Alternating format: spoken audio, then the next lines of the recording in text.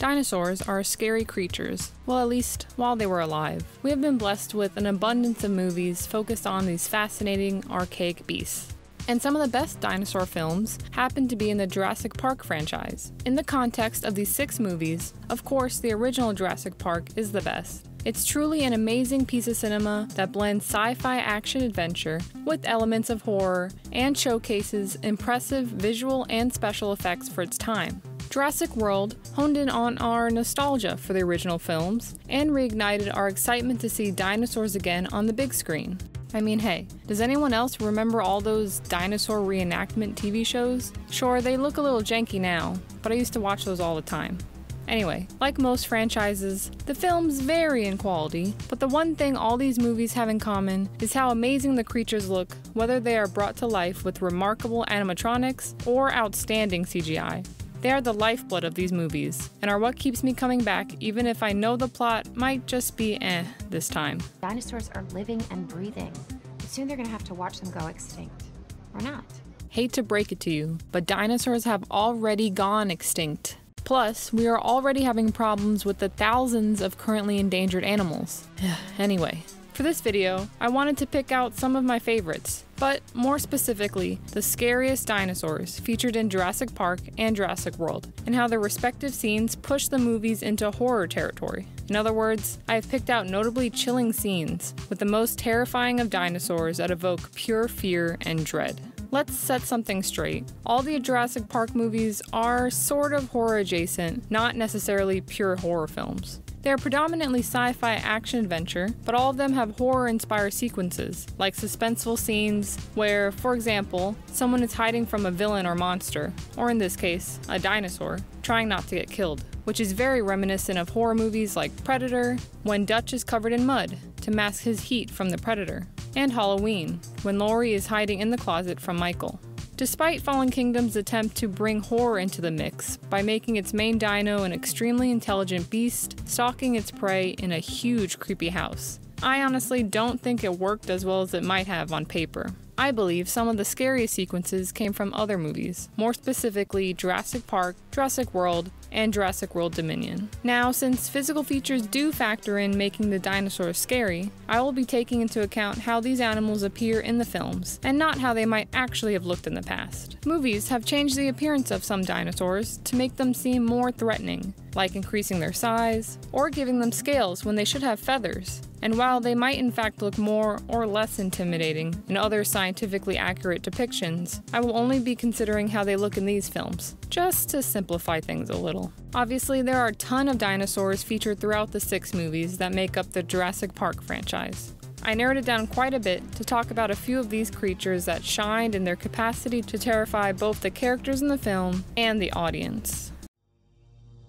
I don't think I can start with any other dinosaur than the Tyrannosaurus rex, because the T Rex is the symbol of the original trilogy. There are many iconic scenes throughout the first movie, but possibly the most well known of the franchise is when she has escaped her containment area and stalks the group there is no doubt that a 40 foot long creature is scary as we watch it tower over the humans and cars with a mouth large enough to eat you in one bite. But what makes it special is that the scene is so well crafted that even after almost 30 years, it is still effectively frightening. The sequence is shrouded in anxiety and dread, and is perfectly set up with a glass of water shaking in the car, and the sound of enormous, thundering footsteps getting closer, building tension as we, the viewer, know something big is on its way to terrorize our protagonist. The scene is dark and rainy as the T Rex appears, setting up a tense mood, as everyone either tries to stay as still and quiet as possible to avoid detection from the, well, now debunked, motion sensitive vision of the T Rex, or they panic out of sheer terror and unwittingly capture the attention of the beast. We watch as the giant devours a man in the most compromising of positions and attacks the car with the children screaming inside. The T Rex is simply doing what animals do, being curious in a new environment, and at times looking for a fresh snack, even if that's a bit unfortunate for our main characters. Additionally, the sound design and lack of any music really immerse us into the situation. The scene is similar in tone to many classic horror situations where the protagonists are being hunted by the villain or monster, but because of how well crafted the scene is in its own unique way, it itself has become a staple in the horror genre. To us, the T Rex is the quintessential dinosaur of all the dinosaurs, and we love the scene, especially because of how it showcases all the reasons that bringing these extinct beasts like the T Rex back to life would be a horrible idea, despite them being objectively awe inspiring. The movie has a similar story to classic horror films like Frankenstein, where the scientists have lost control of their creation, with the T Rex being the main creature here. They are wild animals that are more deadly and unmanageable than any other animal we have in our zoos today, and this scene perfectly embodies that conflict. It is a celebrated and delightfully scary scene that shows us how horrifying the concept of Jurassic Park would be if done in the real world, since, of course, whatever can go wrong will go wrong. The Velociraptors have become the mascots of the Jurassic World trilogy, with Blue being the leader. But as many of us know, before they were everyone's favorite trained pack hunters, the Velociraptors were the makers of many scares from the original movie. Another famous scene from Jurassic Park, after everything goes off the rails, is when Hammond's grandchildren become trapped in the hotel's kitchen, having to crawl around, hiding in cramped cabinets, to survive an encounter with two velociraptors. This could be seen as a reference to The Shining, when Danny is hiding from Jack in a similar steel kitchen cupboard. There are both children hiding from something that will certainly terminate them with ease. We are shown that these animals are not only terrifying physically, but also mentally, since they are intelligent enough to open the kitchen door. Clever girl.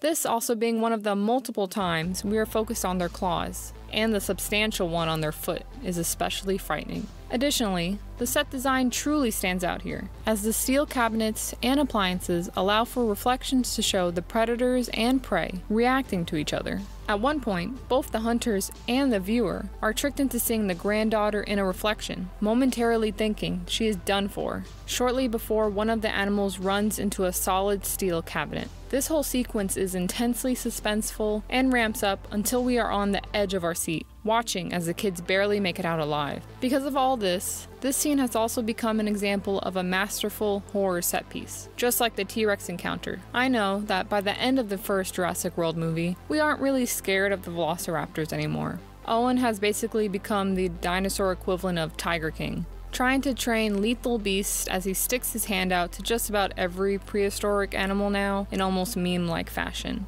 Obviously, if we were to encounter one in real life, it would be terrifying. But I just wanted to be clear that for horror based purposes, the velociraptors in the first film are the ones that are the stuff of nightmares. Everyone has their own specific fears, and for me, the ocean is certainly up there. It is vast and endless.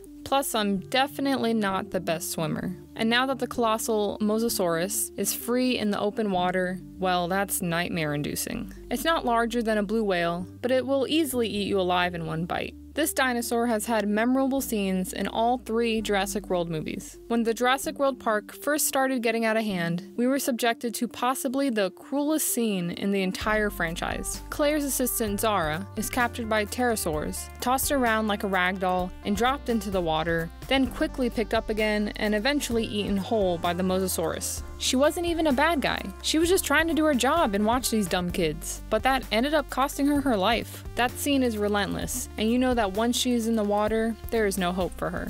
Even if you weren't in the same situation of being battered by one dinosaur after another, but you were in that water alone, no amount of Olympic level swimming could help you. In Fallen Kingdom, the dino devours a submersible, and in Dominion, an entire fishing boat was capsized by the beast pulling down on its catch of the day, so not even a large boat is safe. The Mosasaurus even killed the Indominus Rex in Jurassic World quite easily. All these scenes are effective in showing the horror of being anywhere near the water while this giant exists. There are many horror movies based in the ocean waters, with the most well known being Jaws. Comparisons to Jaws are practically guaranteed with any water creature features, and in the first Jurassic World, we see the dinosaur compared to a great white in size when she is fed one for lunch. Even though the threat in Jaws is much, much smaller than that of the Mosasaurus, it evokes the same fears immense uncertainty of your surroundings and helplessness with no hope for escape the darkness of the water conceals a killer beast that is ready and waiting for the perfect time to strike.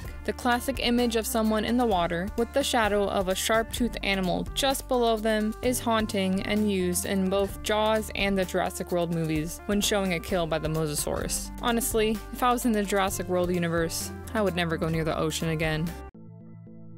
So, the last dinosaur I wanted to highlight is the one that we know less about, but definitely was a standout for me in Jurassic World Dominion the Therizinosaurus. I never knew this thing existed, but wow, it is creepy. Claire's encounter with it is terrifying. She's initially held in the air by her parachute as the animal passes by her, smelling the air and listening closely. This one in particular seems to be at least partially blind, and Claire barely escapes by submerging herself in the nearby pond. The scene reminds me of the suspenseful and scary sequences from the original Jurassic Park, and that was something I really appreciated. We are holding our breath, just like Claire, as she slowly crawls away from the beast. The scene emphasizes the creature's qualities and it is much different than any dinosaur we have seen in the previous movies. It's covered in feathers, a new trait for some of these prehistoric animals, as it is more accurate to what they really looked like in the past. Even though we're not used to seeing dinos with feathers, the giant is still effectively frightening. The beast has long, robust claws that are emphasized by attacking a deer,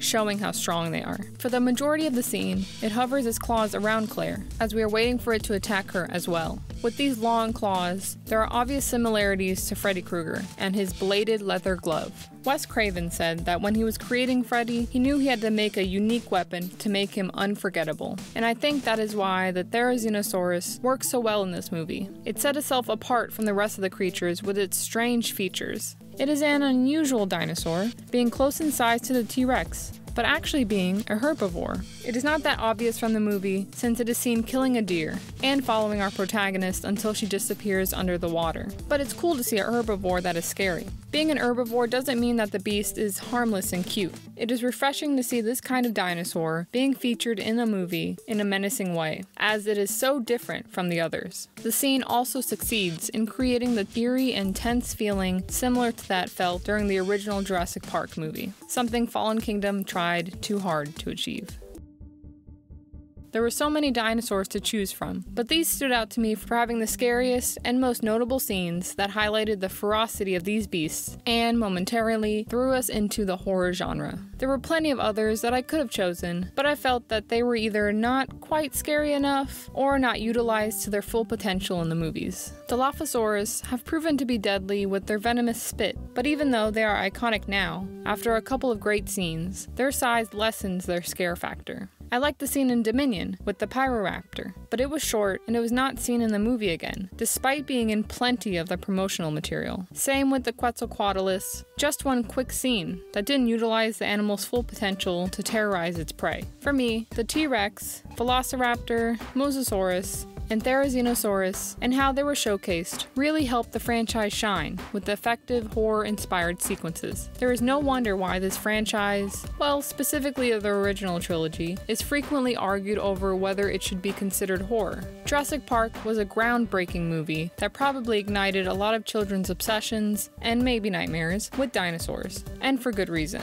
Dinosaurs were amazing creatures that were both magnificent and extremely intimidating. Because of these movies, we know how much of a gloriously bad idea creating Jurassic Park would be if it ever came to fruition in the real world. I mean, they were kind of just asking for something to go wrong, right? In the words of Dr. Ian Malcolm, the scientists were so preoccupied with whether or not they could, they didn't stop to ask if they should. Boy, head being right all the time.